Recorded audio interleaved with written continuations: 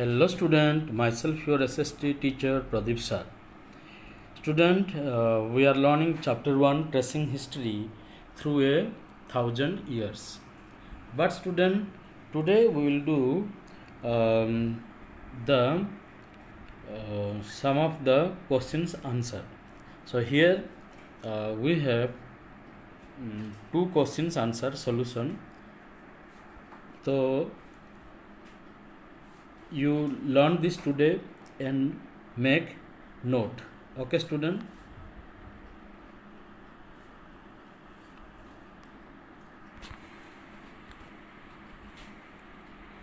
Okay. Who was considered a foreigner in the past?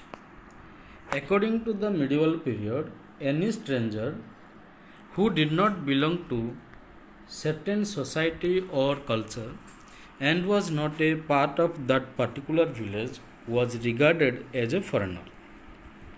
For example, a city dweller therefore might have regarded a forest dweller as a foreigner. But if two persons are belonging to the same village, they not foreigners in spite of their different religious or caste background. So write this note student. And second one is state whether true or false. Here is your answer.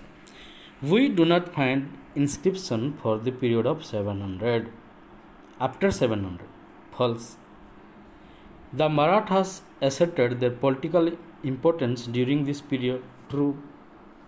Forest dwellers were sometimes pushed out of their lands with the spread of agriculture settlement. True.